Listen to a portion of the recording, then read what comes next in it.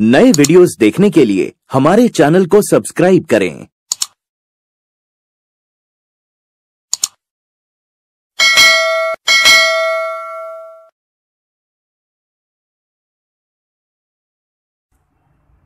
કેમ છો વિદ્યાર્થી મિત્રો મજામાં આજે આપણે ધોરણ છમાં વિજ્ઞાનમાં પાઠ સોળ કચરાનો સંગ્રહ અને કચરાનો નિકાલ એટલે ગાર્બેજ ઇન અને ગાર્બેજ આઉટ એનું સ્વાપોથી જોઈશું. સૌથી પહેલાં વિદ્યાર્થી મિત્રો વિકલ્પો આપેલા છે. પહેલો સવાલ. નીચેનામાંથી કયો કચરો કોહવાટ પામી શકે છે? તો શાકભાજીના નકામાં ભાગો. નીચેનામાંથી કયો કચરો કોહવાટ પામતો નથી?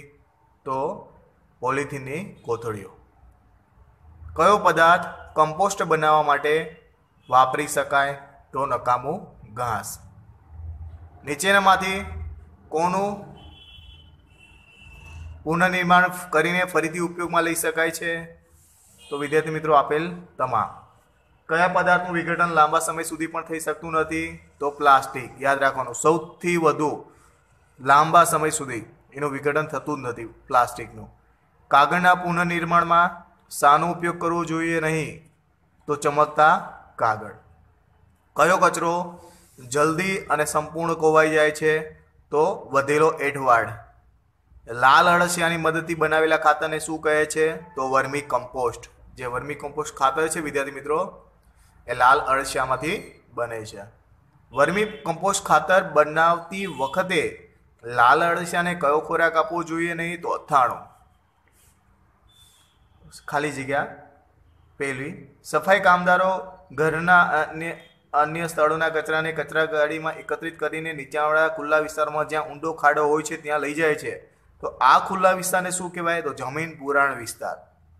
બીજું લાલ અળસિયાઓની મદદથી ખાતર બનાવવાની ક્રિયાને, તો આપણે વિદ્યાર્થી મિત્રો અગાઉ જગ્યા વર્મી કમ્પોસ્ટિંગ કહે છે. ત્રીજું લાલ અળસિયા વધારે ખાલી જગ્યા કે ખાલી જગ્યા વાતાવરણમાં જીવિત રહી શકે, શકતા નથી તો વધારે ગરમ અને વધારે ઠંડા. ખાલી પ્રશ્ન ચાર. ખાલી જગ્યાની પ્રક્રિયા વડે રદી કાગળના મોટા જથ્થાને નવા સ્વરૂપમાં ફેરવી તેનો ઉપયોગ કરી શકાય છે. તો પુનઃનિર્માણની પ્રક્રિયા દ્વારા. ત્યાર પછીનો પ્રશ્ન છે. ત્રણ. રસોડાના કચરાને કયા રંગની કચરા પેટીમાં નાખવો જોઈએ? તો લીલા રંગની. વિદ્યાર્થી મિત્રો, યાદ રાખજો. રસોડાનો કચરો હોય, એને લીલા રંગની જ કચરા પેટીમાં નાખવો જોઈએ. ત્યાર પછી તૂટેલા પ્લાસ્ટિક, કાચ તથા ધાતુના ભંગારને કયા રંગના કચરા પેટીમાં નાખવો તો ભૂરા રંગની કચરા પેટીમાં જ નાખવો જોઈએ. પછીનું છે, કયું સજીવ વર્મી કમ્પોસ્ટ ખાતર બનાવવામાં ઉપયોગી છે? તો લાલ અળસિયું. લાલ અળસિયા તેના ખોરાકને સાની મદદથી દળીને ઝીણો બનાવે છે, તો પેસણી વડે. અળસિયાના સારા ઉછેર માટે કેવી જમીનની આવશ્યકતા છે? તો વિદ્યાર્થી મિત્રો, કેવી જમીન? ભેજવાળી ભીની જમીન. ઓકે? ત્યાર પછીનો છે, ખરા ગોટા, પેલું. સૂકા પાંદડા કોવાટ ન પામે તેવો કચરો છે ખોટું. પ્લાસ્ટિકના કચરાનું વર્ષો સુધી પણ વિઘટન થતું નથી, સાચું. વનસ્પતિજન્ય અને પ્રાણીજન્ય કચરાનું વિઘટન થઈ શકે છે, સાચું. સુકાયેલા પાંદડાના કચરાના નિકાલ માટે તેને સળગાવી દેવો જોઈએ, ખોટું. વર્મી કમ્પોસ્ટ માટે ખાડામાં રહેલા લાલ અળસી અને મીઠું, તેલ સરકો માંસ અને દૂધ ખોરાક તરીકે આપવામાં આવે છે, ખોટું. ત્યાર પછીનો સવાલ, પ્રશ્ન પાંચ પહેલો પ્રશ્ન, વર્મી કમ્પોઝ કોને કહેવાય? તો લાલ અળસિયાની મદદથી બનાવવામાં આવતા કમ્પોસ્ટ ખાતરને વર્મી કમ્પોઝ કહે છે. પ્રશ્ન બે, કયા પદાર્થોને બાળવાથી ધુમાડો અને હાનિકારક ગેસ ઉત્પન્ન થાય છે? તો પ્લાસ્ટિક, પોલિથીન અને રબરના ટાયર બાળવાથી ધુમાડો અને હાનિકારક ગેસ ઉત્પન્ન થાય કયા પ્રકારના કચરાનું પુનર્નિર્માણ કરી તેનો ઉપયોગી પદાર્થો તરીકે નવા સ્વરૂપમાં ભેળવવામાં આવે છે? તો પ્લાસ્ટિક, ધાતુનો ભંગાર અને કાચના ટુકડા જેવા અવિઘટનીય કચરાનું પુનર્નિર્માણ કરી તેને ઉપયોગી પદાર્થો તરીકે નવા સ્વરૂપમાં મેળવવામાં આવે છે. પછીનો પ્રશ્ન, કયા પદાર્થોનો બનેલો કચરો પર્યાવરણને સૌથી વધુ દૂષિત કરે? તો પ્લાસ્ટિક અને પોલિથીનનો કચરો પર્યાવરણને સૌથી વધુ દૂષિત કરે છે. પછીનો પ્રશ્ન છે, વર્મી કમ્પોસ્ટ માટે ઉછેરવામાં આવતા લાલ અળસિયાને કેવો ખોરાક આપવો જોઈએ? તો વર્મી કમ્પોસ્ટ માટે ઉછેરવામાં આવતા લાલ અળસિયાને ખોરાકમાં શાકભાજી, ફળોના નકામા ભાગો, ચા, કોફીના કૂચા, પાંદડા, ઘાસ વગેરે આપવા જોઈએ. પ્રશ્ન છ, વર્મી કમ્પોસ્ટ માટે ઉછેરવામાં આવતા લાલ અળસિયાને કેવો ખોરાક આપવો જોઈએ નહીં? તો વર્મી કમ્પોસ્ટ માટે ઉછેરવામાં આવતા લાલ અળસિયાને મીઠું, અથાણા, તેલ, વિનેગર, માંસ અને દૂધની બનાવટો ખોરાકમાં આપવી ન જોઈએ. પછીનો પ્રશ્ન, કયા કચરા કયા પ્રકારના કચરાને ભૂરા રંગની કચરા પેટીમાં નાખવો જોઈએ? તો વિદ્યાર્થી મિત્રો, કોવાટ ન પામે તેવો કચરો જેવો કે પ્લાસ્ટિકનો કચરો, લોખંડનો ભંગાર અને કાચનો સામાન ભૂરા રંગની કચરા પેટીમાં નાખવો જોઈએ. ખ્યાલ કેવું ગયો મિત્રો. પછીનો પ્રશ્ન છે, કયા પ્રકારના કચરાને લીલા રંગની કચરા પેટીમાં નાખવો જોઈએ? તો વિદ્યાર્થી મિત્રો, આપણે અગાઉ જોઈ ગયા. વિઘટન પામે તેવો કચરો જેવો કે રસોડાનો કચરો, વનસ્પતિજન્ય અને પ્રાણીજન્ય કચરો લીલા રંગની કચરા પેટીમાં નાખવો જોઈએ. પછીનો પ્રશ્ન, ઘરગથ્થુ કચરાનો નિકાલ કેવી રીતે કરવામાં આવે છે? તો ઘરગથ્થુ કચરો આપણે, આપણી કચરા પેટીમાં એકઠો કરીએ છીએ. દરરોજ નગરપાલિકાની કચરા ગાડી આવી ઘરનો કચરો લઈ જાય છે. આ કચરાને શહેરની બહાર ખુલ્લા નીચાણવાળા વિસ્તારમાં ઊંડા ખાડા હોય ત્યાં લઈ જાય છે. આ ખુલ્લા વિસ્તારને જમીન પુરાણ વિસ્તાર કહે છે. અહીં કચરાને બે વિભાગમાં અલગ કરી તેનો યોગ્ય નિકાલ થાય તે કરાય છે. પ્રશ્ન બે, શું કચરાનું વ્યવસ્થાપન માત્ર સરકારની જવાબદારી છે? ના. કચરાનો નિકાલ કરવો એ ફક્ત સરકારની જ જવાબદારી નથી, પરંતુ જનતાની પણ જવાબદારી છે. જો જનતા કચરો ડસ્ટબિનમાં ન નાખે અને ગમે ત્યાં ફેંકે, તો ગંદકી ફેલાય, તથા તેવા કચરાનો યોગ્ય નિકાલ થઈ શકે નહીં. સ્વચ્છતા જાળવવી એ જનતા એટલે કે આપણી જવાબદારી છે. આથી કચરો ડસ્ટબિનમાં જ ફેંકવો જોઈએ, જેથી સ્થાનિક સ્વરાજ્યની સંસ્થાઓ આ કચરાનો યોગ્ય નિકાલ કરી શકે. પછીનો પ્રશ્ન ત્રણ, નંબર, શું કચરાના વ્યવસ્થાપન સંબંધિત સમસ્યાને ઓછી કરવી સંભવ છે? તો વિદ્યાર્થી મિત્રો, હા, આ માટે આપણે નીચેની બાબતો ધ્યાનમાં રાખવી જોઈએ. તો કચરાનો નિકાલ કરવા જો ઓછી સમસ્યા ઉત્પન્ન કરવી હોય તો એના માટે શું કરવું? તો પહેલું, કચરો હંમેશા કચરા પેટીમાં જ નાખવો ગમે ત્યાં કચરો ફેંકવો નહીં. આનું ચુસ્ત પાલન કરવું. તેમજ અન્ય પાસે પણ પાલન કરવા સમજાવવું. પ્રશ્ન બીજો નંબર, કચરાને બે ભાગમાં વિભાજિત કરો. એક કોવાટ પામે તેવો કચરો અને બે કોવાટ ન પામે તેવો કચરો. ઓકે? અને ત્રીજું પ્લાસ્ટિક કચરો, લોખંડનો ભંગાર અને કાચની શીશીઓ ભંગાર વેચનારને આપવી, જેથી તેનું પુનઃનિર્માણ કરી શકાય, ઓકે? ત્યાર પછીનું છે, રાસાયણિક ખાતરના સ્થાને કુદરતી ખાતરનો ઉપયોગ ઉત્તમ છે, શા માટે? તો વિદ્યાર્થી મિત્રો, હા, કારણ તો પહેલું, રાસાયણિક ખાતર રાસાયણિક પદાર્થોમાંથી બને છે, તેનો ઉપયોગ જમીનના સજીવો માટે નુકસાનકારક છે. જ્યારે કમ્પોસ્ટ ખાતર, એટલે કુદરતી ખાતર, જૈવિક વિઘટનીય કચરામાંથી બને છે. આમ, તે કચરાનો યોગ્ય નિકાલ કરવાની ઇકો ફ્રેન્ડલી પદ્ધતિ છે. ખ્યાલ આવી ગયો? એટલે કે કુદરતી ખાતર વધારે સારું, કૃત્રિમ ખાતર કરતાં, રાસાયણિક ખાતર કરતાં.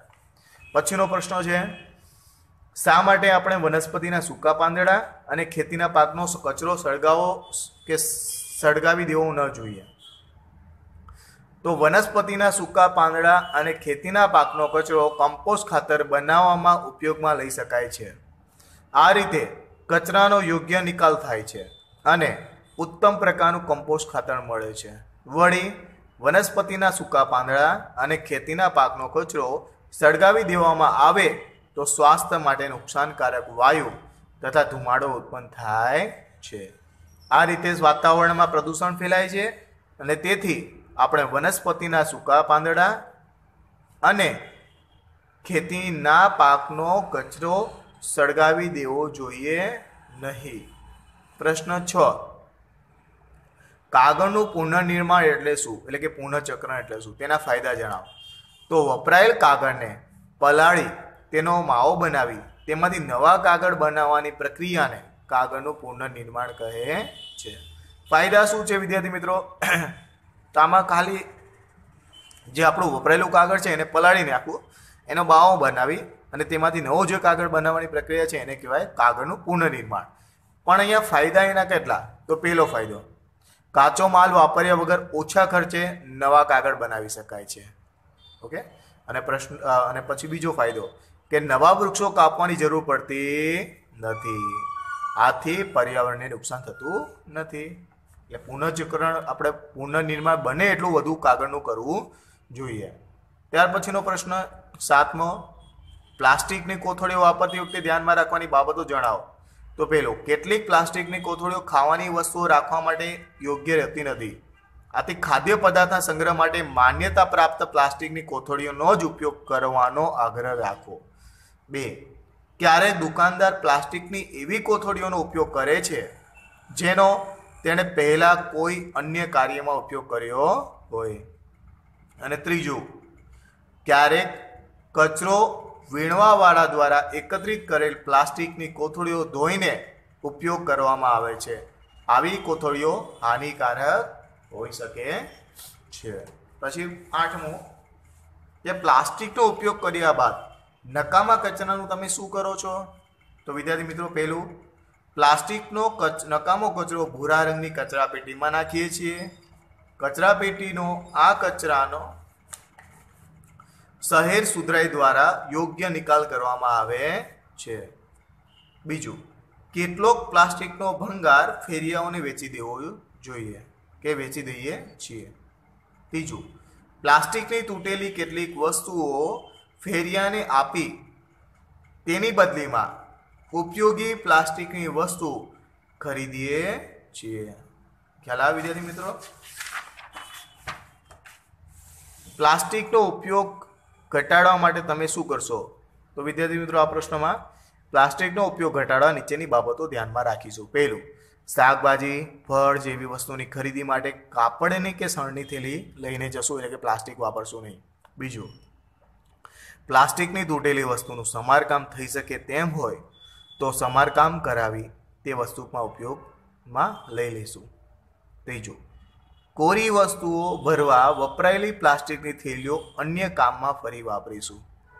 ચોથું, દુકાનદાર પાસે પ્લાસ્ટિકની થેલીઓને બદલે કાગળની થેલીઓના ઉપયોગનો આગ્રહ રાખીશું. એટલે કે આપણે દુકાનદાર પાસે જઈએ, તો જે પ્લાસ્ટિકની થેલીઓ આપે એની જગ્યાએ આપણે કેની થેલીઓ માંગવાની? કાગળની થેલીઓ વાપરવાની, એ માંગવાની. પાંચમું પ્લાસ્ટિકની થેલીઓનો બને તેટલો ઓછો ઉપયોગ કરો. બને એટલો ઓછો પ્લાસ્ટિક વાપરવું. જુદી જુદી વસ્તુઓ માટે જુદી જુદી પ્લાસ્ટિકની થેલીઓ વાપરવાને બદલે શક્ય હોય તો એક જ પ્લાસ્ટિકની થેલીમાં વધારે વસ્તુઓ મૂકી શકાય. ઓકે ત્યાર પછીનું કારણ છે વિદ્યાર્થી મિત્રો, વૈજ્ઞાનિક કારણ કે પ્લાસ્ટિકના કચરાનો નિકાલ ગંભીર સમસ્યા છે. તો વિદ્યાર્થી મિત્રો પહેલાં વસ્તુ કીધું તો પ્લાસ્ટિકનો કચરો છે ને જે લાખો વર્ષો સુધી નાશ નથી પામતો. તો એનો નિકાલ એક ગંભીર સમસ્યા છે. તો એનું કારણ આપવાનું કે પ્લાસ્ટિકના કચરાનું વિઘટન થતું નથી. આથી તેનો નિકાલ કમ્પોસ્ટ ખાતર બનાવીને એ જમીનમાં દાટીને કરી શકાય નહીં. જો વિઘટન થતું હોય તો કરી શકાય. પ્લાસ્ટિકના કચરાને સળગાવવાથી હાનિકારક વાયુ મુક્ત એટલે કે પ્લાસ્ટિક સળગાવવું પણ ના જોઈએ. આથી તેનો સળગાવીને નિકાલ કરી શકાય નહીં. બધા પ્રકારના પ્લાસ્ટિકનું પુનઃનિર્માણ પણ થઈ શકતું નથી. પ્લાસ્ટિકનો કચરો પડ્યો રહે તો તે હજારો વર્ષો પછી પણ પ્લાસ્ટિક સ્વરૂપમાં જ રહે છે. આથી પ્લાસ્ટિકના કચરાનો નિકાલ એક ગંભીર સમસ્યા છે. ખ્યાલ આવે વિદ્યાર્થી મિત્રો? પછીનો પ્રશ્ન. મુદ્દાસર ઉત્તર આપો. કે કાગળનું પુનઃનિર્માણ સમજાવો. એટલે કે કાગળ આપણે ફરીથી કેવી રીતે બનાવી શકાય? જૂના કાગળમાંથી. તો વિદ્યાર્થી મિત્રો ધ્યાન આપજો, કાગળનું પુનઃનિર્માણ નીચેની રીતે કરવામાં આવે છે. પહેલી રીત. કે કાગળના પુનઃનિર્માણ માટે, પેલું છે, કાગળના પુનઃનિર્માણ માટે વધુ જથ્થામાં કાગળ જોઈએ. આ માટે જૂના સમાચાર પત્રો મેગેઝિન, જૂની નોટબુકો, છૂટા કાગળ, નકામા કાગળો એકઠા કરો. બે, કાગળોના નાના નાના ટુકડા કરો. ત્રણ, એક ટબમાં જરૂરી ગરમ પાણી લઈ તેમાં કાગળના ટુકડા નાખો. અને કાગળના ટુકડાને એક દિવસ માટે પાણીમાં ડુબાડી રાખો. ચાર. બીજા દિવસે ભીના કાગળના ટુકડાને બારીક વાટી. હવે જો વિદ્યાર્થી મિત્રો, આમાં એક દિવસ આપણે જે ગરમ પાણી લીધું એમાં એમાં એ પાણીમાં એ કાગળના ટુકડાને રાખી મૂકવાના છે. અને પછી ચાર નંબરમાં કે બીજા દિવસે ભીના કાગળના ટુકડાને બારીક વાટી, ઘટ લુગદી બનાવી, એટલે કે જે આપણે કાગળ ગાળ્યું પાણીમાંથી ને, વાટી દેવું જોઈએ, એકદમ લુગદી બનાવી નાખવી જોઈએ. પાંચમું. હવે ફેમ પર લગાડેલ જાળી લઈ તેના ઉપર આ ઘટ લુગદીને ફેલાવો અને લુગદીની સપાટી એક સરખી બનાવવા માટે ફેમને ધીમે ધીમે હલાવો. પછી છઠ્ઠું, પાણી બહાર નીકળી જવા દો. એટલે કે જેટલું પાણી નીકળતું એને નીકળી જવા દો. ફ્રેમ પર જૂનું સમાચાર પત્ર કે કપડું પાથરો. આમ કરવાથી લુગદીમાંનું વધારાનું પાણી શોષાઈ જશે. એટલે બીજું થોડું ઘણું પાણી હોય એ શોષાઈ જાય. સાતમું હવે જાળીને કાગળના સ્તર સહિત કોરા સમાચાર પત્ર પર કાળજીપૂર્વક ઊંધી પાડો.